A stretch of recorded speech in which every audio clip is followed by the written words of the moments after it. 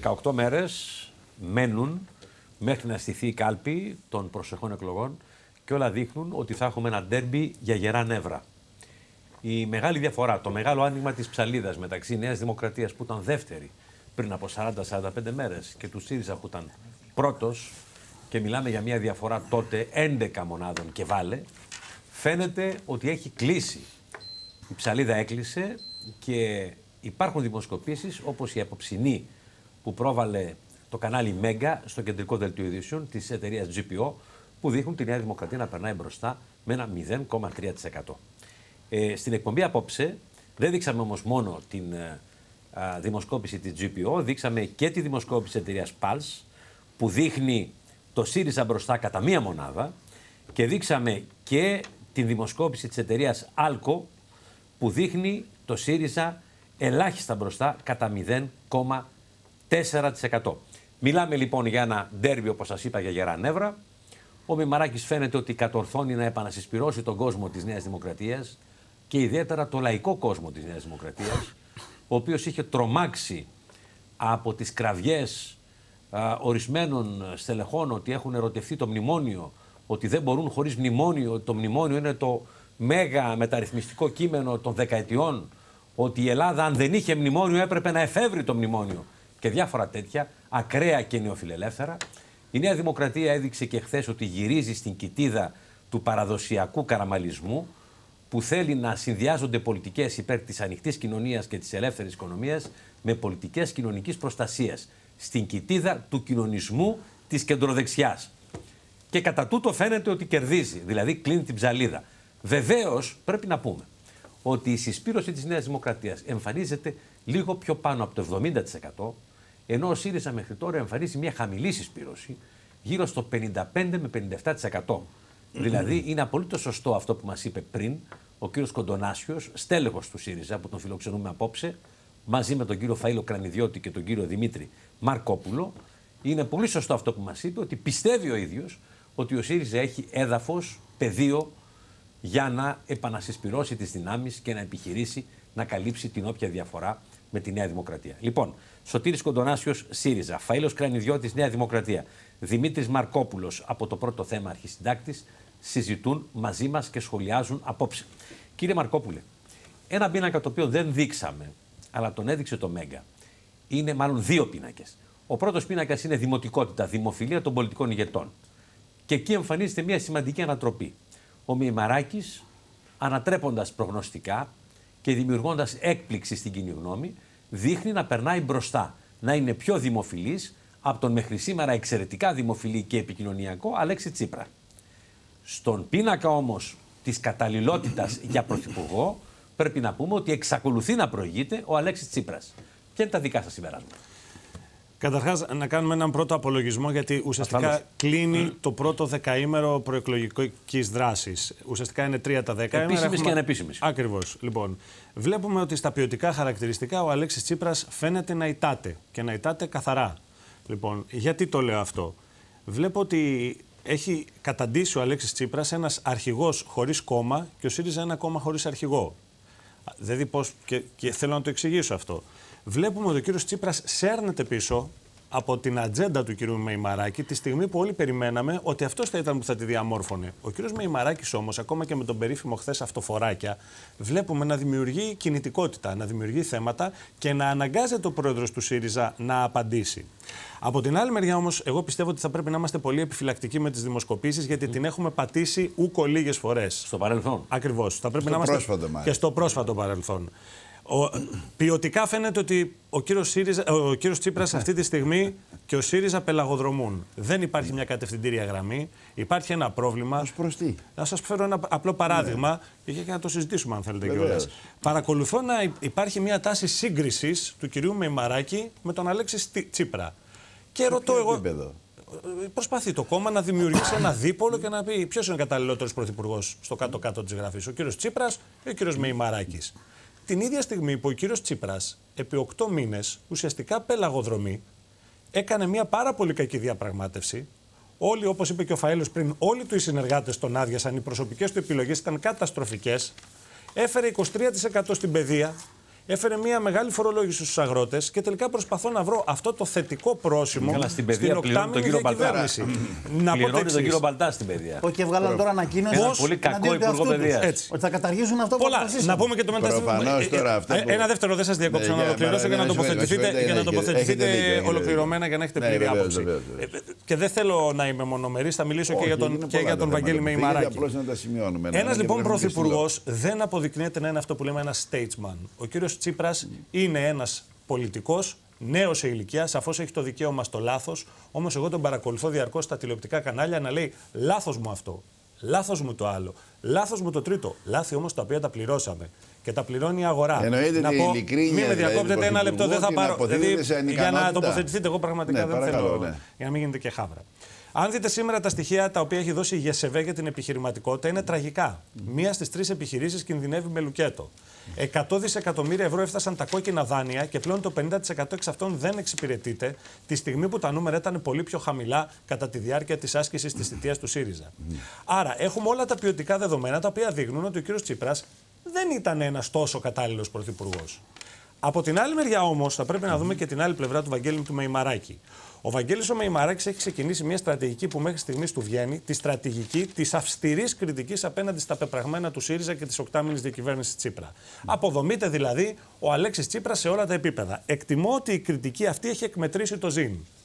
Θεωρώ ότι πλέον το πρόταγμα για Κριτική τον... όμως όχι σε ακραίους τον. Όχι σε ακραίους. Και εδώ νομίζω ότι Αν κερδίζεις. εξαιρέσουμε τις Όπως και η ε, κίνησή του τις σήμερα που ήταν λεκτικές του αφόρμητη. ακρότητες που αποτελούν, φτάνουν μέχρι Το την έκανε, Μητροέπεια. αλλά το έκανε να σας πω κάτι. Βλέπω ότι ο- Ναι. εγώ π- καταγράφω ότι ο Βαγγέλης ο Μεϊμαράκης χρησιμοποιεί τα πραγματικά λιγοστά του όπλα τόσο καλά που αυτή τη στιγμή έχει επιβάλει την ατζέντα του. Ο κύριος Τσίπρας τρέχει πίσω από τις δηλώσεις του κυρίου Μεϊμαράκη. Όμως, πρωθυπουργός δεν γίνεσαι μόνο με την κριτική και την αποδόμηση του αντιπάλου. Και θεωρώ ότι το μεγάλο στίχημα για τον Βαγγέλη το Μεϊμαράκη είναι να αποδείξει ότι μπορεί να είναι ένας σοβαρός πρωθυπουργός και μια εναλλακτική λύση και αυτό θα γίνει μέσα από τις διαδικασίες των επόμενων ημερών και του debate. Λέτε μετά την επανασυσπήρωση η κυβερνησιμότητα. Ακριβώς. Η άσκηση Καταρχήν κυβερνησιμότητα. νομίζω αύριο ή το χτίσιμο μεθαύριο, κυβερνησιμότητα. νομίζω αύριο ή μεθαύριο θα βγουν με ένα, ένα ολοκληρωμένο πλήρες πρόγραμμα. Δεν είναι για- μόνο φαίλο για, θέμα για το προγράμματος, μεταναστευτικό, είναι για και παράδειγμα. θέμα προσωπικού mentality, όπως λένε και Σίγουρα. οι Αλλά θα, ακου, Βρετανοί. θα ακουστούν και συγκεκριμένα Έτσι. πράγματα. Και, θέλω να πω και μετρημένα. κάτι για αυτές τις εκλογές στο σύνολό τους, το οποίο πρέπει να το ακούσουν όλες οι πολιτικές δυνάμεις. Αυτή τη στιγμή ο ΣΥΡΙΖΑ πληρώνει, κατά την προσωπική μου εκτίμηση, την ταλαιπωρία διαρκείας στην οποία υποβάλλει τον ελληνικό λαό και με την επιβολή των πρώτων πρόωρων εκλογών τον Ιανουάριο και με το δημοψήφισμα το οποίο μας κόστησε ψυχολογικά και πρακτικά στην οικονομία, αλλά και με τις τρίτες πρόορε εκλογές. Αλλά από την άλλη μεριά, σε αυτές τις εκλογές ο κόσμος, είναι λίγο καζατζακικό αυτό που θα πω, δεν φοβάται τίποτα, δεν ελπίζει κάτι. Ο κόσμος αυτή τη στιγμή, γι' αυτό και βλέπουμε να υπάρχει μια παρουσία έντονη στα μικρά κόμματα, να συζητάμε μέχρι και για εννέα κόμματα σε αυτή τη Βουλή. Ο κόσμος κουράστηκε από τις απανοτές εκλογές, δεν φοβάται, άρα δεν έχει αυτό το οποίο είχε συζητήσει έντονα στην πολιτική του Αντώνη Σαμαρά, το φόβο. Από την άλλη, όμως, δεν ελπίζει και κάτι γιατί ο ΣΥΡΙΖΑ έφτασε τα πράγματα στο να μην ελπίζει κάτι ο Έλληνας. Τι να ελπίσει, δε, ποιο είναι το σύνθημα το κεντρικό του ΣΥΡΙΖΑ αυτή τη στιγμή; Θα εφαρμόσουμε πιο γλυκά το μνημόνιο το οποίο εμείς φέραμε τη στιγμή που βρίζαμε πριν τα μνημόνια, που θεωρούσαμε τους αντιπάλους μας Γερμανοτσολιάδες; Και να σας πω και κάτι άλλο. Για μένα, δύο είναι τα λάθη των κομμάτων, το εξής ένα. Η Νέα Δημοκρατία δεν έχει παραδεχθεί τα λάθη της τα τελευταία χρόνια και την υπερβολική φορολόγηση των πολιτών, η οποία την έφερε στην ήττα, όπως όμως και ο ΣΥΡΙΖΑ αυτή τη στιγμή δεν αποδέχεται το λάθος του διχασμού της ελληνικής κοινωνίας, του διχασμού τον οποίο συνεχίζει με το παλιό και το νέο τώρα, του διχασμού του όχι και του ναι, του διχασμού των Γερμανοτσολιάδων και των α, αξιοπρεπών Ελλήνων οι οποίοι κάνουν διαπραγμάτευση. Και τα δύο κόμματα λοιπόν φέρουν την ίδια ευθύνη η- ο Μεν ΣΥΡΙΖΑ για το διχασμό, η Νέα Δημοκρατία γιατί δεν έχει αναγνωρίσει ακόμα τα λάθη της. Περιμένω και από τους δύο σας, ως εκπροσώπους αυτών των κομμάτων, μια μεγάλη συγνώμη στον ελληνικό λαό. Και φάιλο για τα δικά σας λάθη, τα οποία ήταν πολλά και τα καταδίκασε ο ελληνικός λαός και ακόμα δεν έχουμε δύο οκτώ μήνες να αναγνωρίζονται. Αλλά και από τη μεριά του ΣΥΡΙΖΑ με παρησία να πει ένα μεγάλο συγγνώμη ακόμα και σε εμάς τους δημοσιογράφους που ασκήσαμε κριτική, τους οποίου συγκεκριμένα έντυπα, επειδή είπατε πριν για το πρώτο θέμα, να πω εγώ για την Αυγή ή για την εφημερίδα των συντακτών, το πόσο όσους συντάκτες, δημοσιογράφους διαφωνούσαμε με τις θέσεις του ΣΥΡΙΖΑ, πόσο με μεγάλη ευκολία μας χαρακτήριζαν παπαγαλάκια του συστήματος, παπαγαλάκια. Τελικά ο Πρωθυπουργός, ο πρώην Πρωθυπουργός, ο κ. Τσίπρας, προσχώρησε στις θέσεις μας. Αδιέξοδο λέει. There is no way out. Μονόδρομο στο ευρώ. Δεν παγώνεις. ήταν έτσι. Δεν Παγώνεις. ήταν όμως έτσι. Στα παγόνια είναι καλοί φύλακε. Δεν ήταν Φυλάει έτσι το τα μνημόνιο πράγματα. τώρα. Ε, Μ' αρέσει που συμφωνείτε κύριε Μαρκόπουλε με όσα είπε ο κύριος Κραγιδιώτης και ο κύριος Παναγιώτοπουλος. Και Μα βλέπω συμφωνώ ότι όμως και και με εσείς, εσάς. ναι, Εγώ και δεν- βλέπω- δεν και βλέπω, αποδόμησα- λοιπόν, δεν ότι θεωρώ και εσείς- εύκολη νίκη. Ότι, Δεν είναι ότι έτσι. προσωπικά και Κάνει δεν- κακές παρέες. Εγώ δεν αναφέρομαι ποτέ σε εφημερίδες και δεν κατηγορώ ανθρώπους. Έχω μάθει έτσι και ούτε Όχι εσείς νομικά προσωπικά, πρόσωπα, ούτε αλλά σας νομικά μιλάω τώρα με πρόσωπα, στοιχεία ούτε γιατί τα φυσικά, ξέρω καλά. Χωρίς να έχω στοιχεία για Εγώ αυτά. μένα μέχρι και Χρυσαυγίτη με έχουν Πολιτική- χαρακτηρίσει φύλλα πολιτική προσκύμενα μέσα σε κριτική εσάς. βεβαίως κάνω ευχαρίστως. Μπορεί να είναι δίκαιη, μπορεί να είναι και άδικη. Αλλά εκεί που τα θέματα αλλάζουν ε, πεδίο και εκφεύγουν της πολιτικής, δεν μου επιτρέπει ούτε ο Στους χαρακτήρας συναδέλφους μου, σας που ούτε η χαρακτήριζαν ιδιότητά μου. Γερμανοτσολιάδε Λοιπόν, εν πάση Γερμανοτσολιάδες περιπτώσει και όμως, κότες όσους ψήφισαν εν ναι. πάση Θα περιπτώσει- συστήνατε να πούνε μια συγγνώμη. Εγώ δεν το θέτω Κοιτάξτε για να δείτε εσάς, τώρα, για τους συναδέλφους εδώ σας. το Θα ζήτημα το οποίο- συστήνατε. το οποίο- Με παρησία, ε, πέστε το. οποίο έχετε Κάνανε λάθος. θέσει είναι, έχει, έχει κάποιες, κάποιες σοβαρές παραλήψεις. Εσείς λοιπόν θεωρείτε ότι αυτή η συμφωνία που κατάφερε να φέρει μετά από πέντε μήνες διαπραγμάτευσης η δική μας κυβέρνηση είναι το, η ίδια- το ίδιο κακή με τις συμφωνίες που είχαν φέρει οι προηγούμενες κυβερνήσεις; Είναι μνημόνιο. Εσείς λέγατε έξω από τα μνημόνια ένα δεν είναι λεπτό. εφαρμοστικό. Εγώ δεν είμαι από εκείνους τους ανθρώπους που φοβούνται τις λέξεις. Οι λέξεις λοιπόν η καθεμία έχει τη σημασία τους και για όσους γνωρίζουν ελληνικά, η κάθε λέξη έχει τη σημασία και την έννοια που της αποδίδει η γνώση, η γνώση εκείνη που την εκφέρει. Πολλοί άνθρωποι χρησιμοποιούν λέξεις χωρίς να γνωρίζουν το περιεχόμενό τους. Όσοι λοιπόν έχουμε κάνει και διεθνείς συμβάσεις, τυχαίνει να γνωρίζουμε ότι αυτή η ορολογία είναι διεθνής και υπάρχει παντού. Το μνημόνιο συνεργασίας λοιπόν είναι κάτι που υπογράφεται είτε μεταξύ ιδιωτών είτε μεταξύ κρατών. Το MOU το περίφημο. Ε, Ακριβώς. Αυτά τα απλά πράγματα. Memorandum Είναι- of ε, Understanding. understanding. Η, η δαιμονοποίηση των λέξεων είναι μια ε, ε, βλακεία που δεν αρμόζει στην πολιτική. Ναι, αλλά Το στο ΣΥΡΙΖΑ παρελθόν. κατά κόρον το έκανε. Εν πάση περιπτώσει, δεν, δεν- δεν ήταν μόνο θέμα ΣΥΡΙΖΑ. χαρακτηρισμός αυτό. μνημονιακή Δεν ήταν δεν ήταν μόνο δικός ΣΥΡΙΖΑ μας. θέμα αυτό. Όπως θυμάστε από το 2010 που ξεκίνησε αυτή η ιστορία, οι πολιτικές δυνάμεις διάλεξαν να καταταγούν είτε στο μνημονιακό είτε στο αντιμνημονιακό στρατόπεδο. Λάθος είναι αυτό, πολιτικά είναι λάθος, γιατί ένα πράγμα με το οποίο διαφωνείς πολιτικά το χαρακτηρίζεις όπως ακριβώς του αρμόζει. Μια συμφωνία δηλαδή, η ύπαρξή τη σημεί, δεν μπορεί να σε κατατάξει από εδώ ή από εκεί πολιτικά. Πάμε στο Α, διατάφτα. Άλλο το ένα, άλλο το άλλο. Τώρα, Πάντως έγινε από το σε κόμμα ό,τι σας. αφορά, Επειδή εσείς το λέτε αυτό δεν σημαίνει ότι το κόμμα σας δεν έκανε. σε αυτό ό,τι το αφορά διαχωρισμό. τώρα, σε ό,τι αφορά την κριτική σας για την συμφωνία αυτή που έφερε η δική μας κυβέρνηση, στο λέτε μνημόνιο 3, δεν- δεν έχω και εγώ δισταγμό να το αποκαλέσω πράγματι τρίτο μνημόνιο για τη χώρα. Γιατί αυτό περί αυτού πρόκειται. Με βάση αυτό δηλαδή, η χώρα εξασφάλισε μια πρόσκοπτη χρηματοδότηση για τα επόμενα τρία χρόνια και τη χρηματοδότηση τίνων των δημοσιονομικών της ελλημάτων. Μα το ίδιο έγινε Ε, και με το όπα, πρώτο όπα, έχετε μνημόνιο. λα- Έχετε, έχετε Το- ένα λάθος. Έχετε ένα λάθος γιατί η εξασφάλιση αυτής της ε, ε, ε, κάλυψης των δημοσιονομικών ελλημάτων μέχρι το 2019 εξασφαλίζει στη χώρα το εξής πλεονέκτημα. Μπορεί η κυβέρνηση που θα εκλεγεί να σχεδιάσει πραγματικά και να ανασχεδιάσει την οικονομία της χώρας αυτής πάνω σε νέες βάσεις χωρίς να σκέφτεται τι θα γίνει αύριο και αν θα πρέπει να πληρώσει το δούνο του ή την εκου του. Ε, ίδια δεύτερον, ακούω από τους- εξασφαλίστηκε, από τους νεοδημοκράτες στη διάρκεια εξασφαλίστηκε των η τελευταίων ανακεφαλοποίηση των δύο τραπεζών και μου κάνει εντύπωση που λέγεται κατά κόρον Μα θα χρειάζονταν αυτή η ανακεφαλοποίηση εάν δεν είχαν κλείσει οι τράπεζες. Ποιος σας τα λέει αυτά; Το κλείσιμο των τραπεζών επέφερε την ανάγκη της ανακεφαλοποίησης ή το επέφερε η συμπεριφορά των ε, οφειλετών οι οποίοι δεν πληρώνουν πια τις τράπεζες τους εδώ και πέντε χρόνια. Όλοι το ξέρουμε αυτό. Τα, ιδιωτι- τα ιδιωτικά χρέη προς τις τράπεζες έχουν αυξηθεί σε βαθμό υπέρμετρο. Πληστηριασμοί θα γίνουν στην Δι- πρωτοκατοικία. Όχι. Είστε σίγουρος; Απόλυτα σίγουρος. Επειδή θα είμαστε εμείς κυβέρνηση, Επειδή- δεν θα γίνει. Για το, Επειδή- θέμα, για το θέμα λοιπόν των πληστηριασμών. Το λέω αυτό ουσιαστικά- επειδή σήμερα. Ναι. σε- Με συγχωρείτε για να το Παρακαλώ. τοποθετηθείτε. Ναι, ναι. Επειδή σήμερα έχουν ξεκινήσει ήδη τα τηλεφωνήματα από τις πρακτικές Ναι. εταιρείες και ζητούν στους πολίτες να διευθετήσουν τις υποχρεώσεις τους. Και θυμάμαι πάρα πολύ καλά Ναι. την κριτική που Είναι υπήρχε από τα δάκτυλος αριστερά. κρανιδιώτη αυτός. Ακριβώς. την κριτική που υπήρχε σε αυτές τις πρακτικές εταιρείες. Για να εκθέσει την κυβέρνηση το κάνει. Να λειτουργούν Δεν μια νομίζω χαρά. ότι ο κύριος Κανιδότη Το μπορεί θεσμικό πραγματικά να πλαίσιο δεν το έχει ενεργοποιήσει αλλάξει. όλες τις- όλες τις Να πρακτικές αστιευτούμε και εταιρείες. λίγο. Γι' αυτό και εγώ αστιαίζομαι.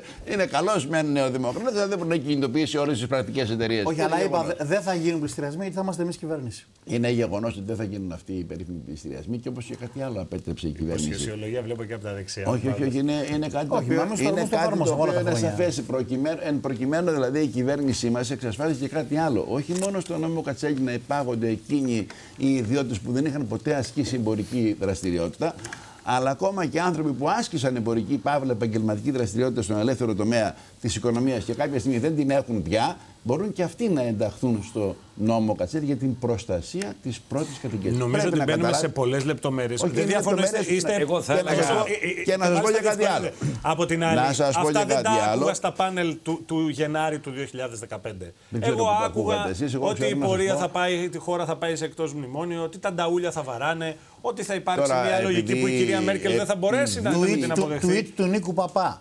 Επί- Γελάω, λέει, όταν ακούω κάποιοι να ονειρεύονται κολοπούτουμπες ή άλλο tweet. Δεν θα εισπραχθεί ο ένφια του 2015. Να θυμίσω για τα Κοιτάξτε, 14 επειδή αεροδρόμια λοιπόν του εδώ Νίκου μιλάω- Σελιώτη, πού δείχνες Ε, πως θα επειδή γινόμουν άλλος. Εδώ Τσίπρα για τα μιλώ με 14 ανθρώπους αεροδρόμια. νοήμονες, θα προσγειων- πρέπει να προσγειωνόταν χρειάζεται το να καλοκαίρι. τονίσω κύριε Έτσι, Μαρκόπουλε. έτσι θα Κύριε, κάναμε και εμείς τελειώνουμε. εταιρείες. Κύριε στο Καγγελιώτη, αεροδρόμιο της Κέρκυρας και χρειάζεται να έλεγε τονίσουμε Έτσι εδώ. θα κάναμε και εμείς χαλάσουμε τα εδώ. σχέδια Εμείς των υποσχεθήκαμε ιδιωτικοποιήσεων. Κύριε, μην μιλάμε όλοι μαζί. Ελάτε να κλείσουμε. Παρακαλώ, Χρειάζεται λοιπόν να τονίσουμε Από μια εδώ κουβέντα, ότι κύριε η πολιτική- Κοντονάσχε, ότι η πολιτική κύριος, ε, είναι, Κρανιδιώτης, είναι κύριο Μαρκόπουλος, για να κλείσουμε. δυναμική Πάμε. εξέλιξη των πραγμάτων και δεν είναι ποτέ στατική στην πολιτική. Εσείς που να λέγατε κύριε Κρανιδιώτη ως Νέα Δημοκρατία προδιετίας ή προέτους και προ, το 11 ότι, θα, ότι και εμείς θα έχουμε το αντιμνημόνιο κακό το μείγμα της πολιτικής. Κύριε που Κοντονάσχε, εφαρμόσατε. τελειώνουμε, ολοκληρώστε. Η- Τι σημαίνει αυτό; Όσοι θέλουμε να ασκήσουμε πολιτική, τι πάει να πει ας- θέλω να ασκήσω πολιτική. Έχω την, ε, την επιθυμία, την πρωτοβουλία και την πρόταση να ζητήσω από το λαό να μου εμπιστευτεί την διακυβέρνηση της χώρας στην οποία κατοικούμε όλοι μαζί. Το ποιες θα είναι οι συνθήκες κάθε φορά που ο Τελειώνουμε, λαό κύριε αναφέρει Κοντονάσχε. την, την εντολή, δεν είναι ποτέ διασφαλισμένο, αγαπητοί μου κύριοι και συνομιλητές, ότι θα είναι το ίδιο το σημερινό με το αύριο και το Λοιπόν. μεθαύριο. Εάν δεν μπορεί ο πολιτικός να προσαρμόζεται σε αυτά, τότε τι- τι ζωή πολιτικός είναι; Προσαρμογή Θα μείνει στη και λογική- ευελιξία. Θα μείνει στη λογική του Κουκουέ ή της Χρυσής Αυγής του 1936 του 1918 και θα λέει στον κόσμο το 2015 Εγώ θα σε κυβερνήσω όπως γράφτηκε το, Μάλιστα. 2 το 1914. Αυτό Λοιπόν, είναι πολιτική. Ωραία. Κύριε Κρανιδιώτη. Λοιπόν, κοιτάξτε, ο Ένα λεπτό για να κόσμος, ο κλείσουμε. κόσμος μπορεί να κάνει και κάνει και πρέπει να κάνει τις απλές συγκρίσεις. Εμείς έχουμε αποδείξει ότι είμαστε πολύ πιο συνετοί και αποτελεσματικοί διαχειριστές στην οικονομία, πολύ πιο αυστηροί και αποτελεσματικοί διαχειριστές στα ζητήματα της ασφάλειας.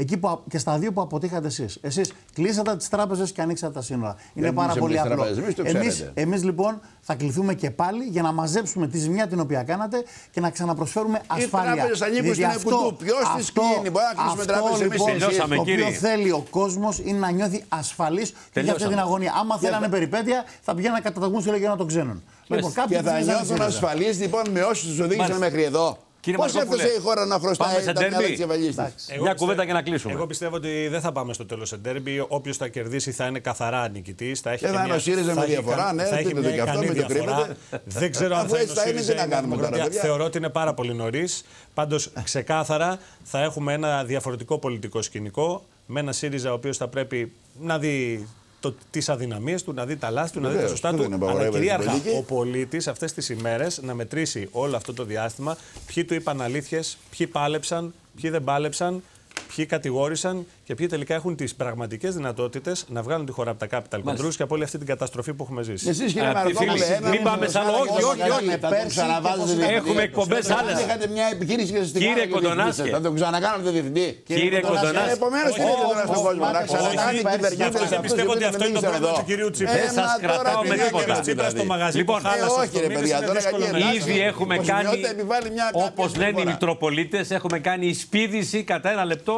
στη ζώνη του Σωτήρη Ξενάκη και του Μάκη Κουρί που ακολουθούν με εκλεκτούς καλεσμένους.